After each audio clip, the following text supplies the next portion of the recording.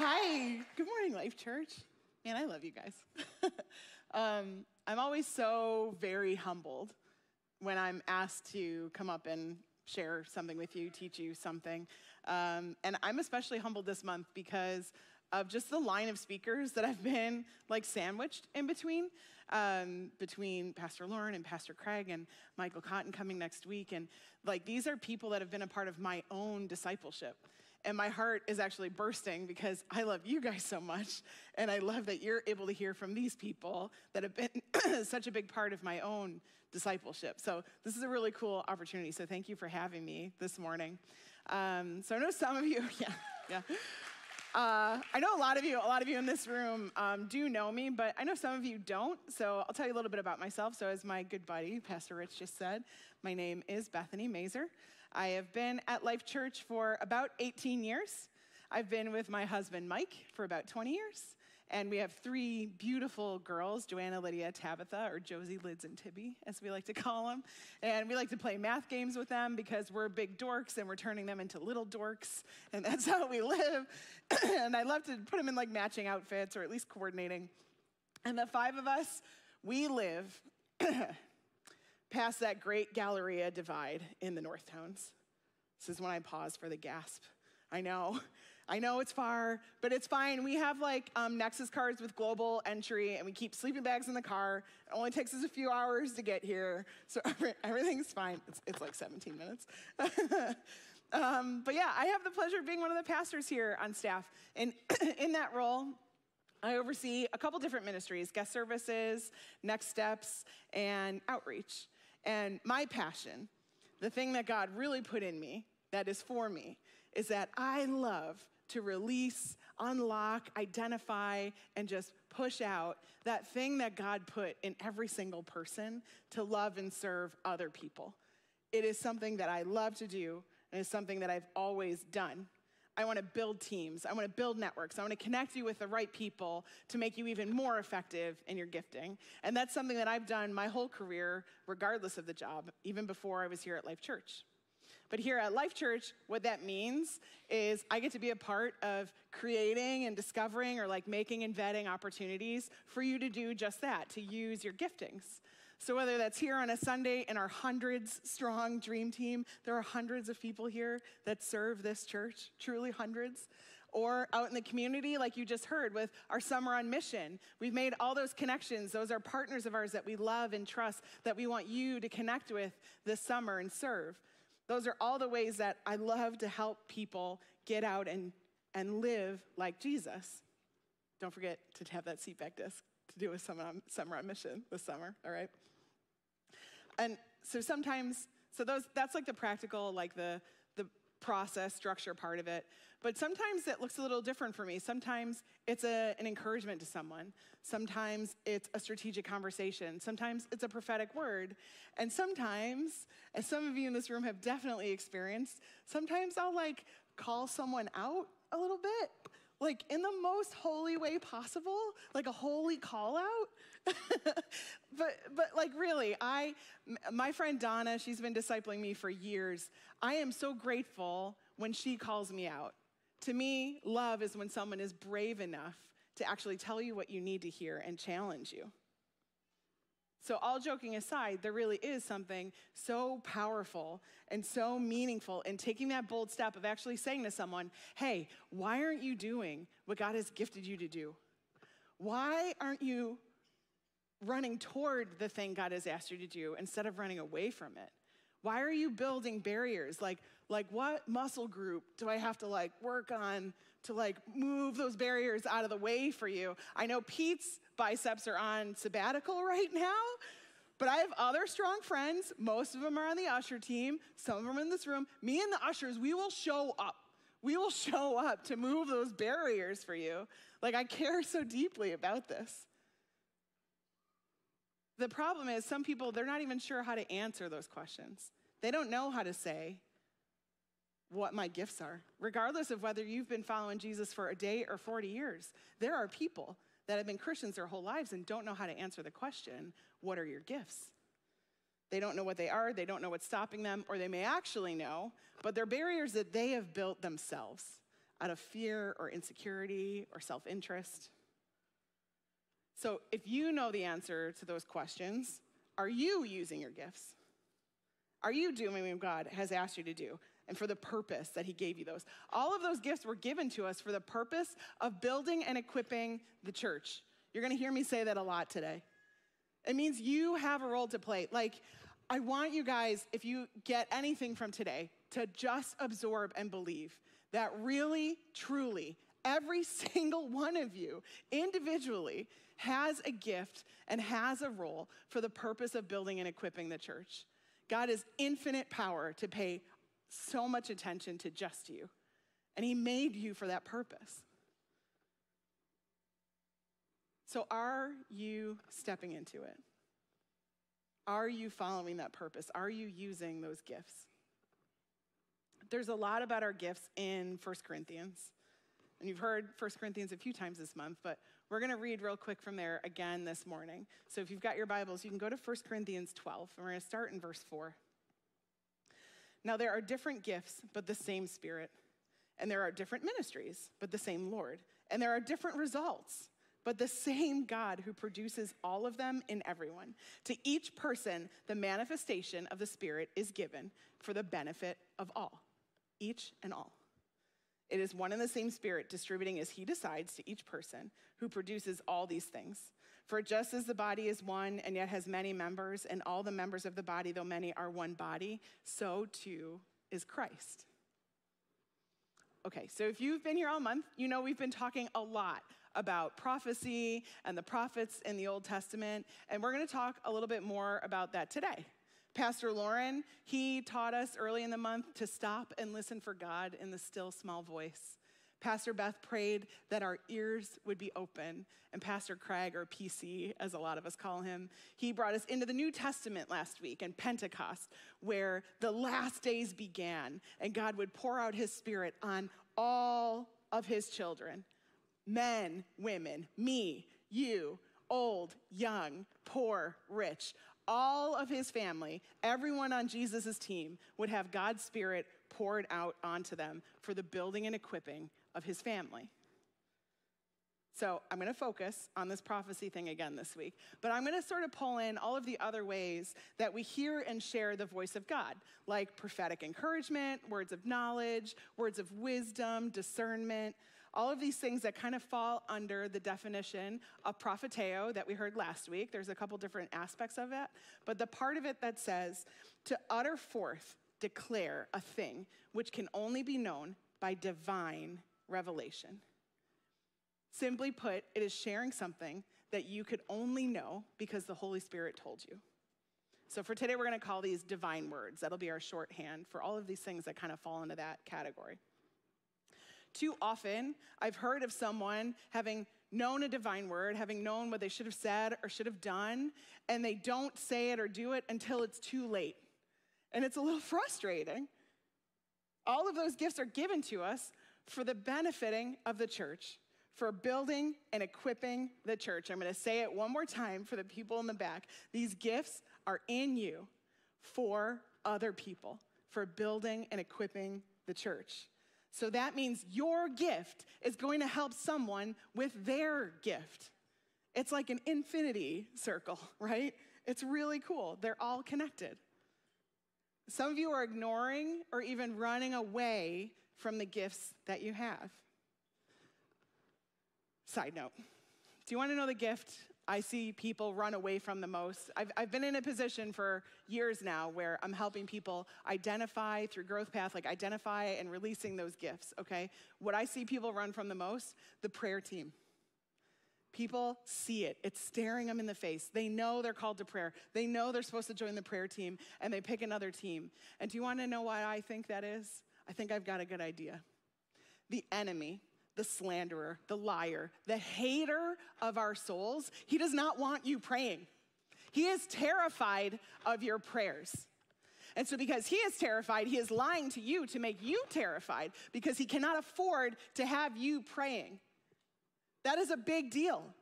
And pulling people out of that kind of headspace, like getting people out of that fear and getting people stepping into their calling, that is one of the things that other gifts help to do.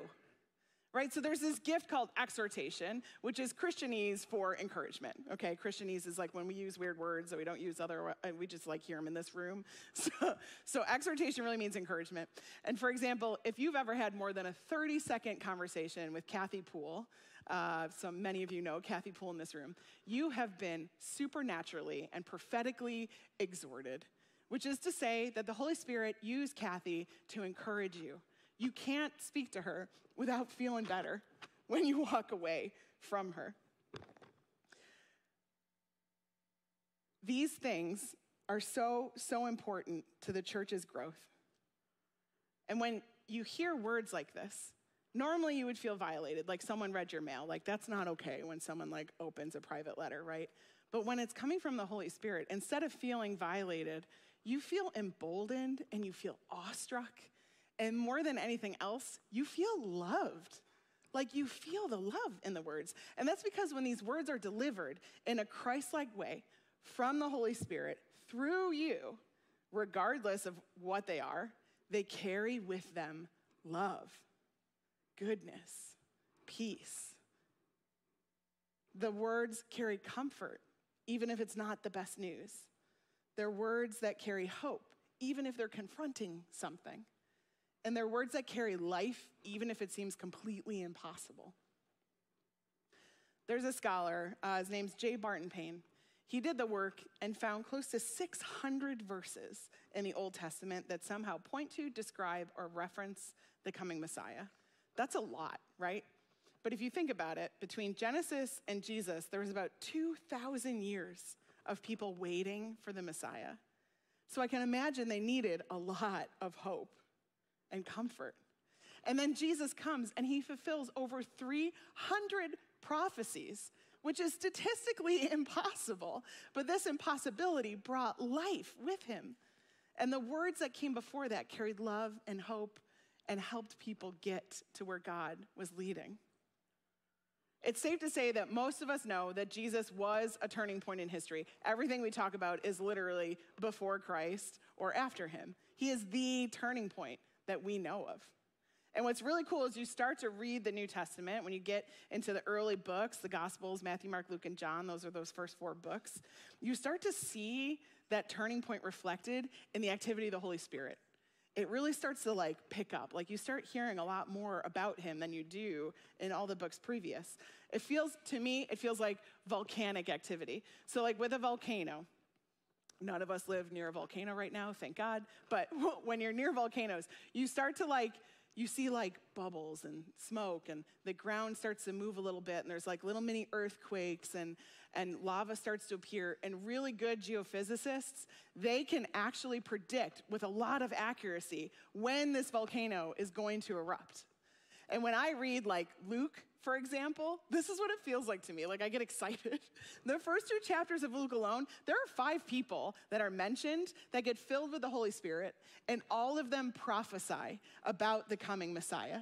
It's like the lava is starting to bubble up and bubble and it's coming out of everybody as joy and peace and hope and all these like amazing things that they're talking about.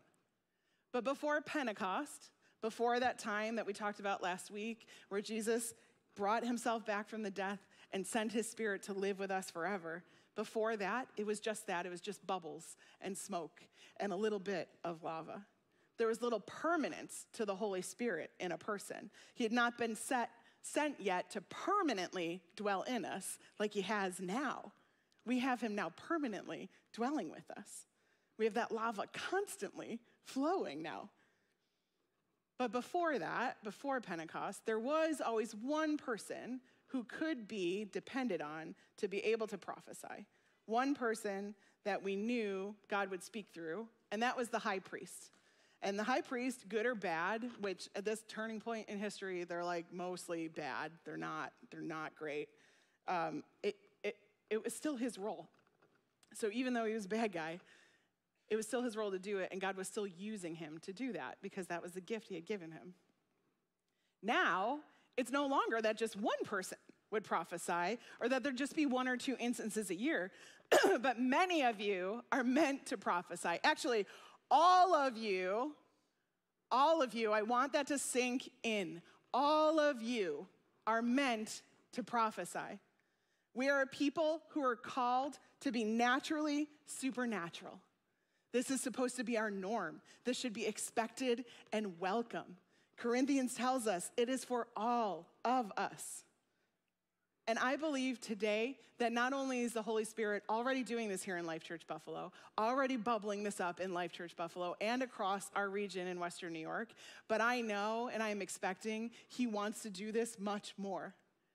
So much more. You see, because He's not waiting for a perfect person to do this. If He was waiting for us to be perfect, nobody would have a gift. If He was waiting for us to be good enough or mature enough before sending the Holy Spirit to us, we'd all still be waiting. I know I would definitely still be waiting, right? And what's more, once God gives us these gifts, once we start following and submitting our lives to Jesus, they're irrevocable. He doesn't take these gifts back. That's what it tells us in Romans. Once God gives you a gift, it is yours, even if you're misusing it, even if you're neglecting it, it is yours.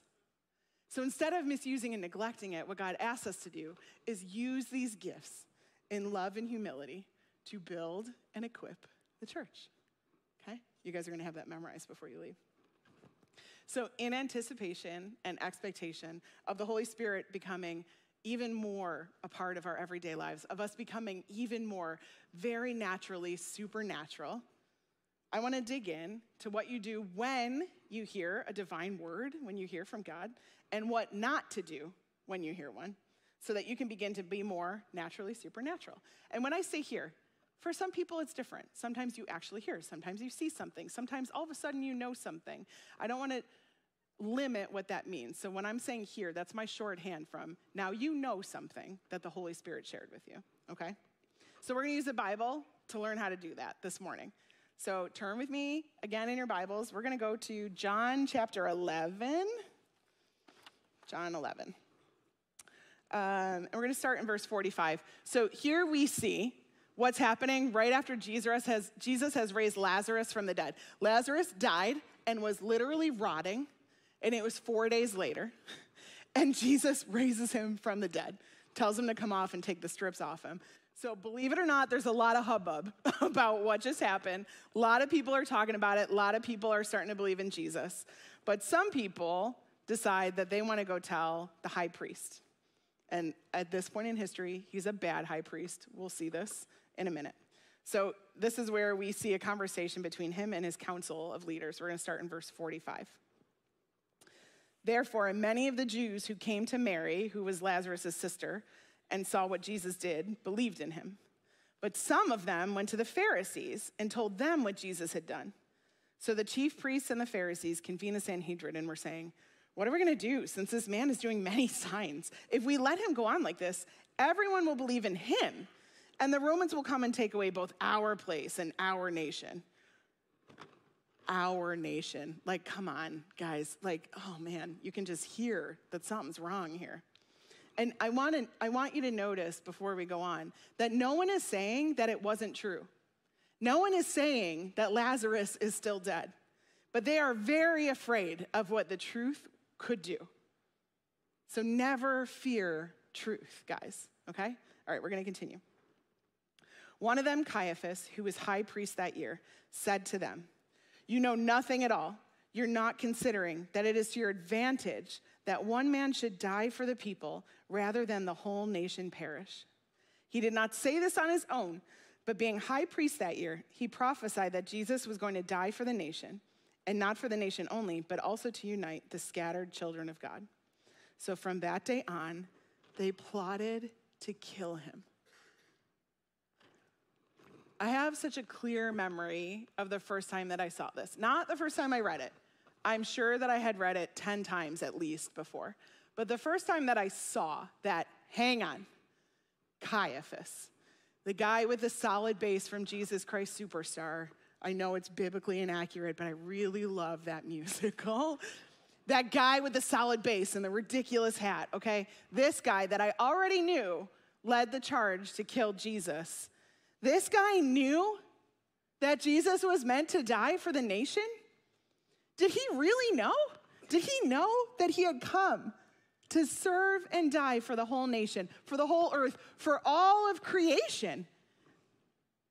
This man, the high priest, the one who leads the charge to put Jesus on the cross and oversees his murder, this man had the Holy Spirit tell him that the Messiah had come. And he chose to take that information and create a plot to kill him.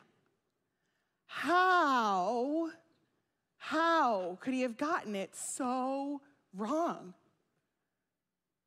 I, am still, ba- this is, it's baffling. You're the high priest. You have the pleasure, you have the gift right now of hearing from the Holy Spirit, and you choose to kill the Messiah with that? When I ask how, when I contemplate how, when I ask God how, I found somewhat of an answer, and I'm going to share that with you. And it starts with understanding any divine, uh, divine word, and that it has three potential elements. So, first, in any divine word, there is the revelation. Second, there is the interpretation. And third, there is the application.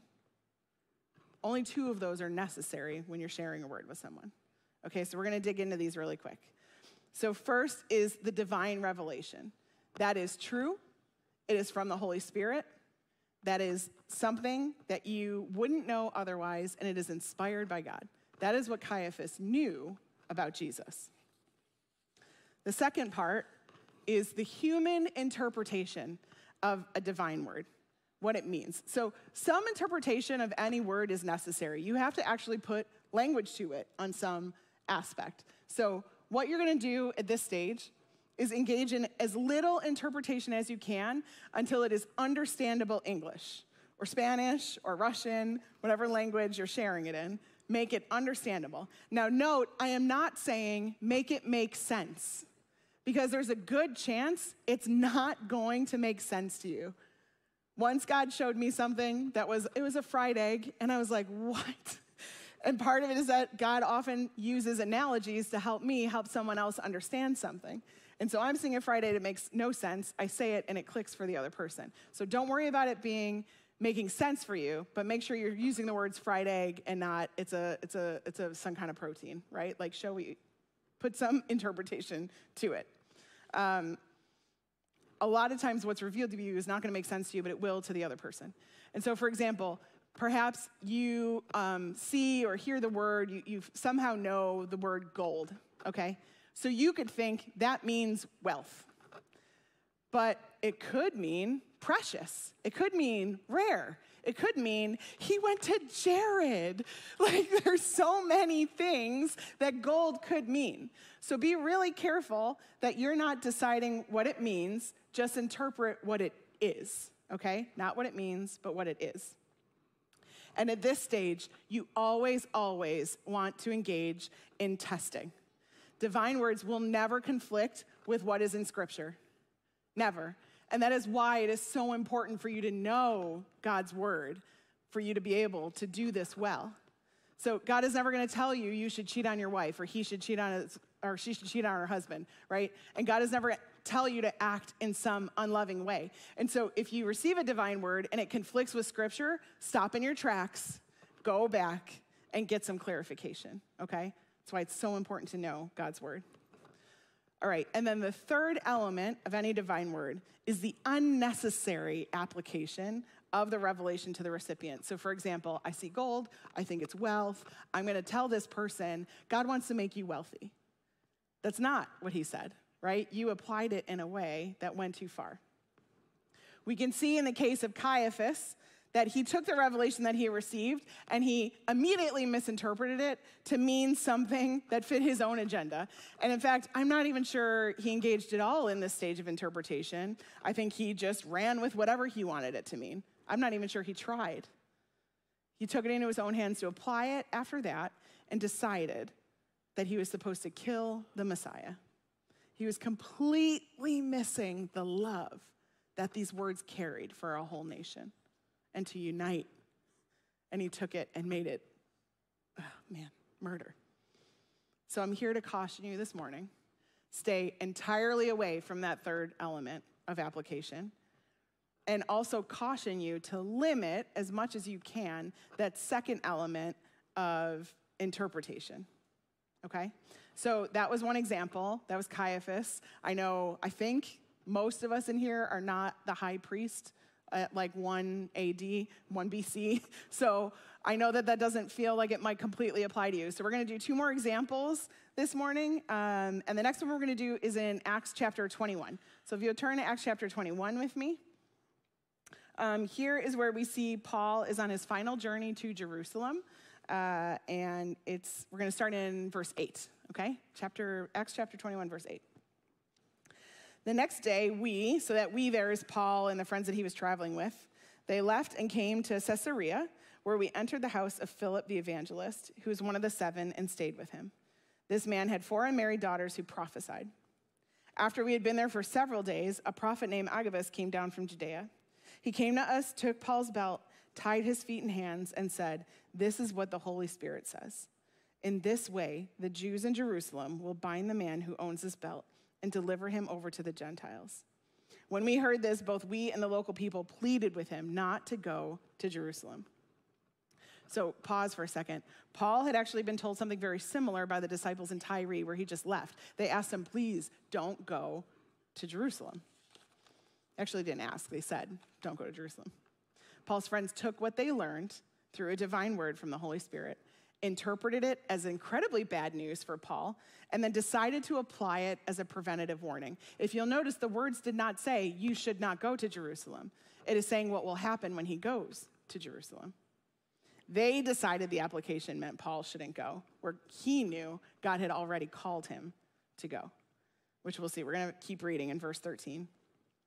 Then Paul replied, What are you doing, weeping and breaking my heart? For I am ready not only to be bound, but also to die in Jerusalem for the name of the Lord Jesus. Since he would not be persuaded, we said no more except, The Lord's will be done. Imagine the confusion this could have caused for Paul. Now, thank God he was already sure and already knew that he was meant and called to go to Jerusalem. But what if he wasn't? What if he didn't engage in that testing stage to make sure that it lined up what he, with what he already knew? He could have received it as a warning and not gone. And the words that we're reading today, Paul wrote after his arrest in Jerusalem. We would not have most of the New Testament because that was God's will for Paul was to do that and to write these letters so we could have these words. This could have encouraged Paul. These words could have encouraged him, but instead they broke his heart. They could have emboldened him and given him more purpose in his suffering and a chance to be comforted and motivated. But instead, he had to comfort his friends instead.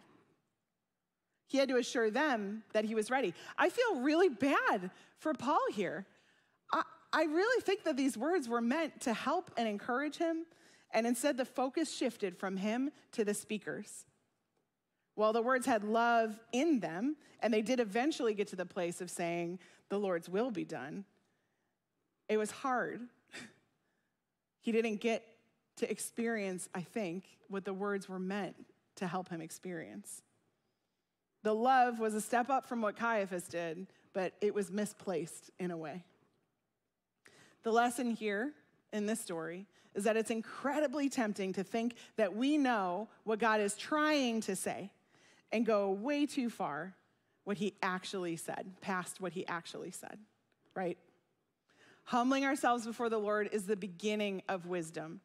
And so, whenever you've received a divine word, you need to slow down, assume that there's more to it than your narrow interpretation could ever get to, and deliver the word as close as possible to what you received without any unnecessary interpretation and without any application. Okay, I'm to give one more personal example for you, if you bear with me here. Um, about seven years ago, I was in a really great small group. They've all been really great. They've all been really great. But this one was also great. Um, I loved it. And there was a couple in this group, Jill and Jamie Gorman. A lot of you know Jill and Jamie. Jamie is like the coolest guitar player on the worship team because he's just like so calm and like cool, and you just like want to hang out with him. But he secretly loves Amy Grant. He really does. He loves her. Okay, he looks cool, but he's got a lot of Amy Grant in his soul. Um, and, and Jill is on our Helping Hands team. And man, this is a woman where when she walks in the room, even if you haven't seen her, you just know that something full of joy walked in the room. You just love to be at a table with her because of the love and the joy that's just bursting out of her all the time. She's so sweet and just wonderful to be around. I've known Jill and Jamie most of my life. I was in youth group with them, which is longer ago than I'll mention, but I've known them since then. Our dads were like golfing buddies and would like talk Bible together. And the my point is not like our interconnected web of relationship, but I want you to hear that I care deeply for this couple. I love them very much. I've known them for a long time. God was really using that season in our group to build us all up in encouragement and um, just kind of grow us together. It was really beautiful. And we were walking with Jamie and Jill through the long, difficult, and sometimes heartbreaking process of adoption. They were trying to adopt at the time. We had prayed for over two years with them as they went through each step and sat with them through the season of just waiting. Every box had been checked, everyone that had to give approval had done so, and we were just simply waiting for the right baby, for the baby to come along. One night, they got to group with huge smiles, excitement coming out of every pore of their body because there was a baby that could be theirs. We were excited, we're cheering, we're laughing, and we stop and we take some intentional time to pray for them, to pray for them that night. So, as we're praying, the Holy Spirit reveals to me that no, this will not be their baby. I panicked. I was devastated, but he did assure me that there is a baby for them. It's just not this one. I didn't know what to do with this information. My heart was racing. My mind was racing as my heart was breaking. I didn't want this for my friends. I wanted them to have zero bumps in this process. I wanted them to have zero heartbreak in this process. I wanted to look them in the face and say, God said this is your baby. And I couldn't. And so then I was like, now what? So I turned back to God. I slowed down and I said, Why, God? Why would you tell me this information right now? How could this possibly help? Why are you telling me this? How can this possibly be encouraging to them right now? There's no defined formula on how to get to the answer of that. It takes a complete dependence on God, it takes a relationship with Him, and it takes the posture of just use me, God. How is it that you want to use me right now? That's a very sacrificial approach. You've got to remove yourself from the equation. this time, the Holy Spirit told me to simply encourage Jill and Jamie that if this were not their baby, that God did in fact know their baby's name and that He would grow their family as it grew. And then I continued to pray. I prayed for Jill and Jamie. I prayed for their future family. I prayed for their future baby. And I prayed that they would be encouraged and at peace when the news came that this would not be their baby. Within a few days of that night, Jill and Jamie did learn that the mother had not chosen them to be the parents of that baby. And I had never mentioned to them what the Holy Spirit had revealed to me until this week, actually. So it was years ago. And I went to Jill and Jamie to ask their permission to share this story, and I revealed to them what I had known.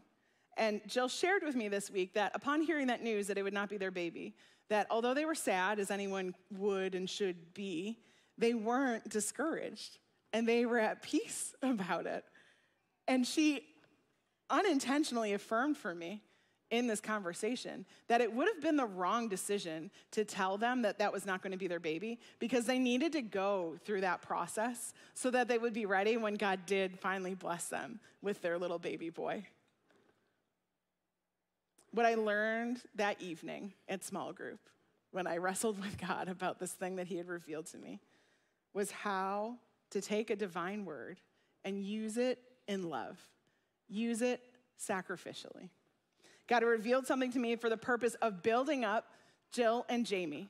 Not for me to show off that I knew something, not for me to say, look how special I am that God said something to me. That's ridiculous. He was using it so that I could encourage them, so that I could do what He wanted me to do with the information. And he wanted me to lead with love and bring encouragement. What Caiaphas got wrong is where his focus was.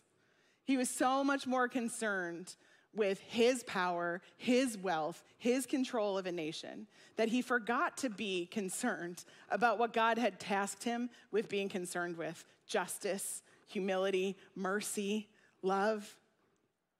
Paul's friends at least did have love in the equation, but their misapplication of it was motivated out of fear fear for their friend, fear that they may never see him again, fear that something bad could happen. And that fear led them to take the revelation too far and make the focus on what they thought Paul should do and not what God said Paul should do. Okay, I know this all seems like a lot. It feels like a heavy thing to hear from God and have to correctly pass that information along. I know that. And so I asked God this week, and I believe that He gave us an analogy this morning to help us really understand our role in this and to become more confident in stepping into the giftings that you definitely have. Okay? So I want you with me this morning to picture something. You can close your eyes if you want. I promise it won't be weird. No one's gonna, like, you know, come sniffing around or anything. So, um, just take a deep breath and picture for me that you're watering your garden. Before I had kids, I had a beautiful, like 300 square foot vegetable garden. It was amazing. Now my kids are my vegetable garden, but I don't have time for that. um, but picture yourself watering your garden. Maybe you have a vegetable garden yourself. Maybe you've got some flowers and shrubbery in your front, front yard, or maybe you're just like watching your neighbor do it and someone else does it for you. But just picture for a minute that you're watering everything. Some of your plants need a lot of water. Some of them only need a little bit of water. Maybe your hydrangeas need some calcium. Maybe your tomatoes need some Epsom salt. And so you add that weird sprayer thing to the end of the hose and you give each plant what it needs. And you add something different depending on the plant. And as you tend to your garden, it grows and the beauty and the fruit that it produces blesses far more than just one person. So, do you have that picture? Everybody in a calm space, feel the breeze, feel the sunshine, right? So, now we're going to relate this to what I've been talking about this morning. So, in this picture that you've just made in your mind, the garden is the church, okay? Garden's the church. And when you prophesy, when you bring a divine word, when you use your giftings, the Spirit of God, the Holy Spirit, is the holy living water that is bringing life to everything in that garden. Jesus, he's our spiritual gardener. He is tending to each plant individually, deciding and knowing what each plant needs and when it needs it. And God our Father, he's the owner of it all. It's his house, it's his yard, it's his garden, it's his plants that are growing. And you, you are the hose you're the hose. Look at that beautiful hose. Don't you want to be that hose? When you bend and you wait and you listen, and sometimes you even get put in a really awkward position, but you're flexible enough to do it, you're the hose, a holy and set apart hose. The hose doesn't find the water, it doesn't know where it came from, it doesn't know how it got there, and it doesn't decide where to spray it. It simply carries and delivers the living water to the garden that needs it. The hose doesn't decide that the tomatoes need magnesium. It doesn't even understand or know why the tomatoes need magnesium, but it knows and trusts the gardener and bends to his will.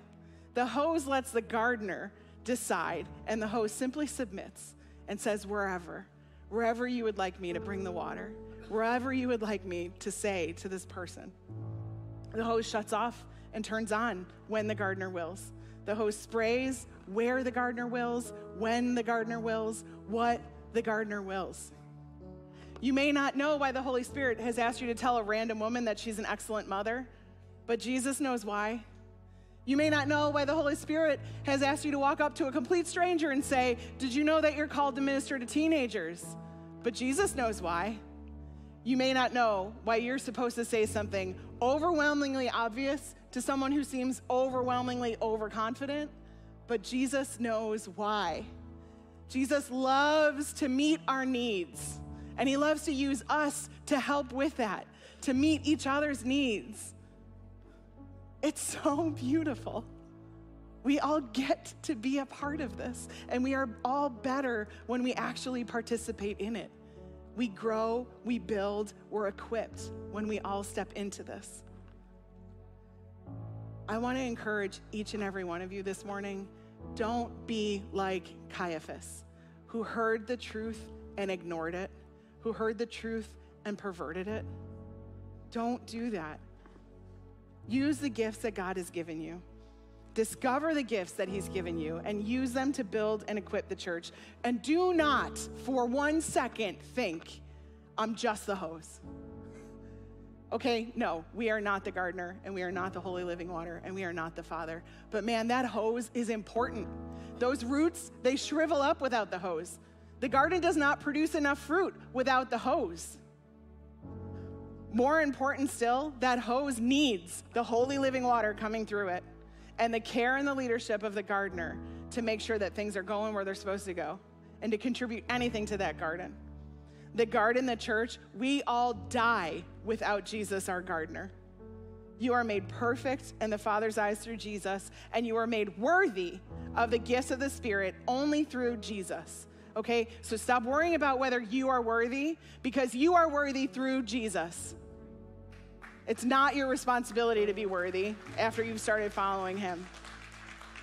We all need Jesus. We've all sh- fallen short of that perfection, every single one of us.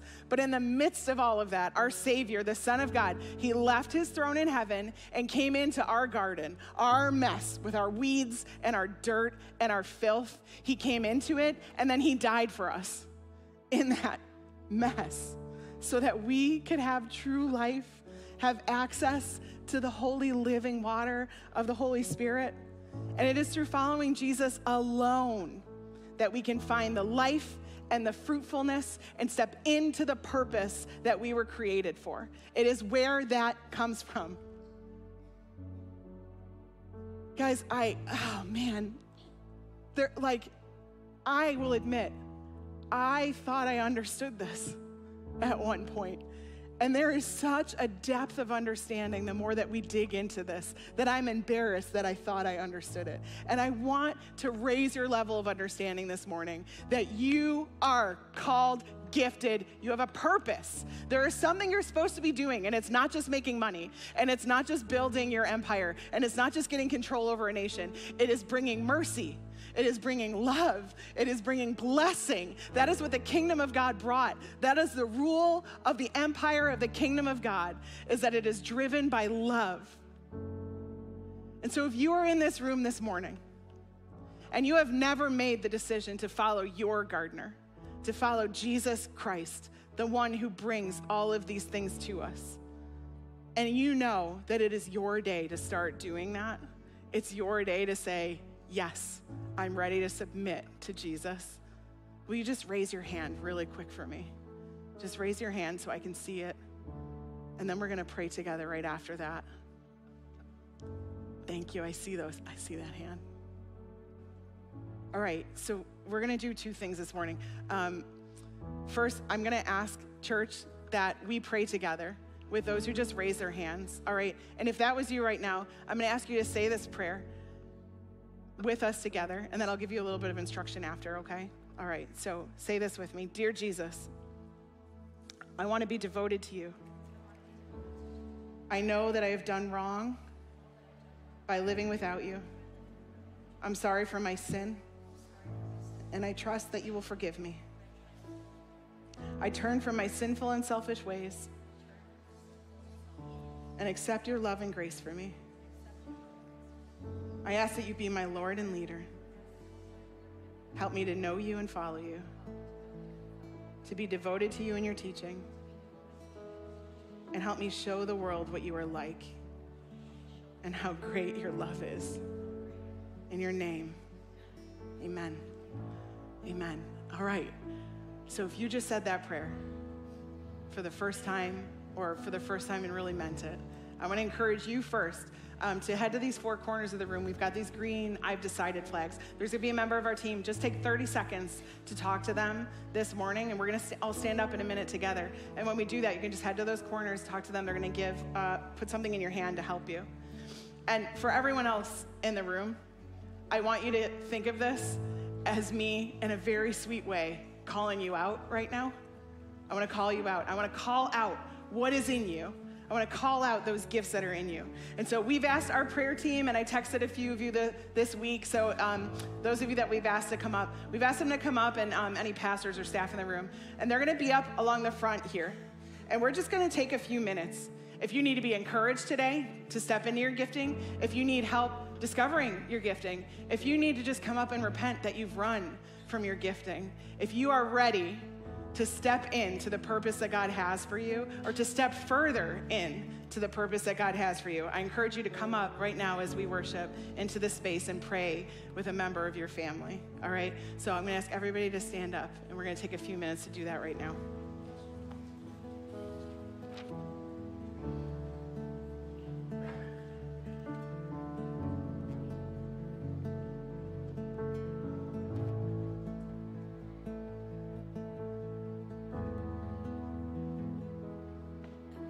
Yes, Holy Spirit, we invite you.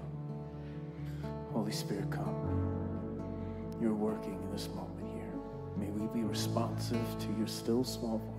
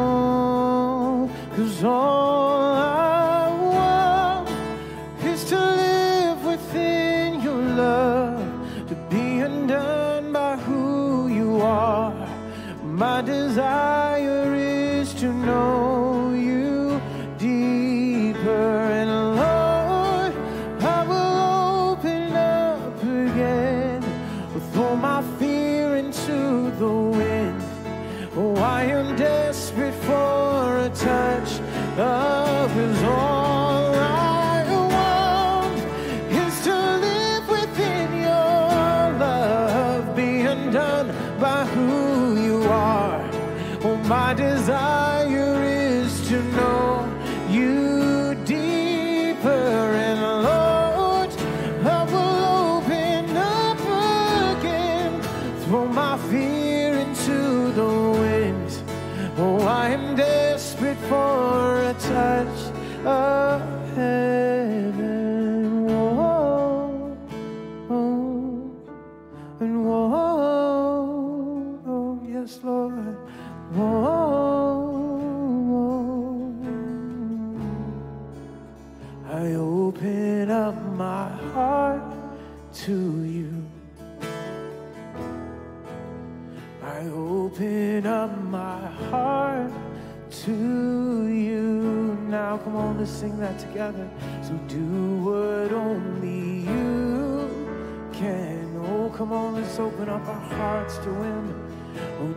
Jesus, have your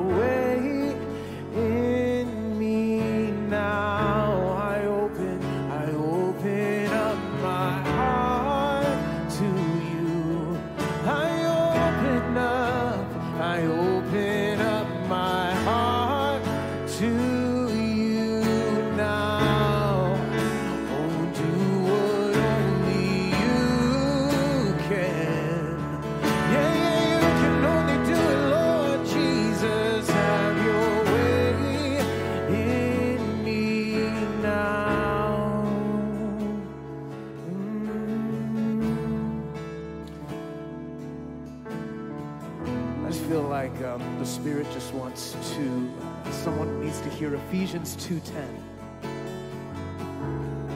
Ephesians 2.10 says that we are God's masterpiece. That we've been created anew in Christ Jesus so that, so that we can do the good works that he's planned for us to do.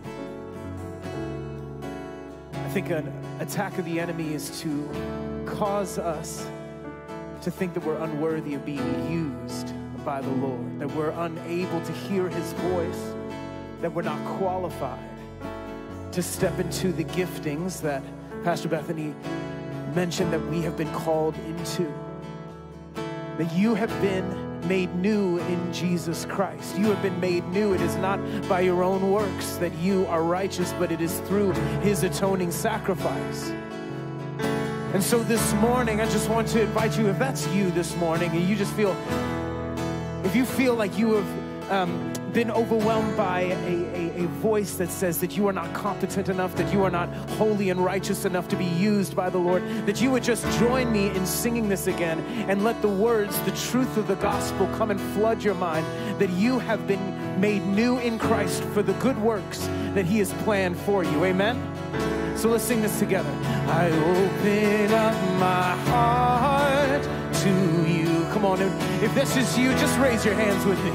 I open up my heart to you now. So do whatever you want,